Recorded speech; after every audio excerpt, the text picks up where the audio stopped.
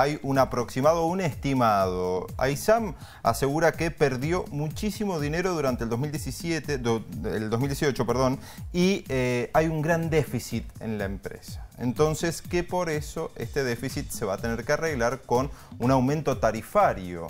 Este aumento tarifario eh, va a ser en base a lo que eh, se decida en la audiencia pública, que la va a tener que definir el EPAS a la audiencia, y que todavía no tenemos fecha precisa. Lo cierto es que también hay que discutir cómo se aplica el aumento, si escalonado, si de una vez, si en dos, si con porcentajes.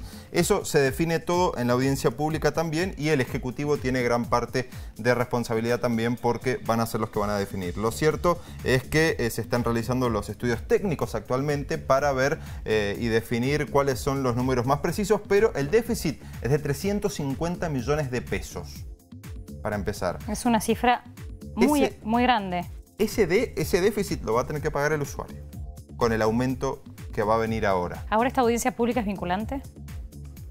Yo entendería que no. No, no es vinculante porque la decisión final la toma el Ejecutivo. Bueno, entonces, claro, pero escuchan a las partes, pero siempre en se hace la audiencia es casi un hecho que va a ser un aumento. Para, transparente, para mostrar como algo más de de transparencia, ¿no? digamos, en lo que es en el proceso de elegir. Y también, bueno, existe la posibilidad de que se haga esta audiencia como se hace con el gas también y como se hace con la luz. Pero eh, lo que sí vamos a tener una referencia a partir de que LEPAS llame a esta audiencia.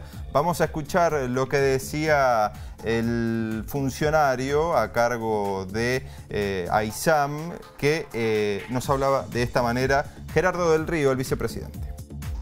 Estamos iniciando el camino de los estudios técnicos junto con el EPAS de nuestro déficit y lo que queremos trabajar es en reducir ese déficit que ha sido importante por el aumento de costo que ha tenido, eh, el impacto que ha tenido la devaluación, la inflación del año pasado eh, en los costos de AISAM.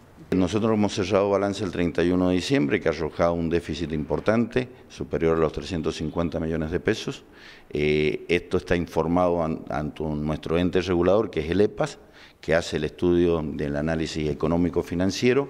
A partir de allí se eh, inicia el camino de audiencia pública, donde se va a discutir el, nuevo aumento tarifario que corresponde y en qué medida se aplique. Desde el año 2016 a, la a esta parte viene subsidiando parte de la tarifa, hemos tenido aporte de 120 millones anualmente, este año en el presupuesto de la provincia hay 140 millones eh, de pesos destinados a ISAM, pero estamos atados al rollover que no salió en la legislatura. En este sentido, sin ese aporte, el aumento tarifario sin duda va a ser mayor.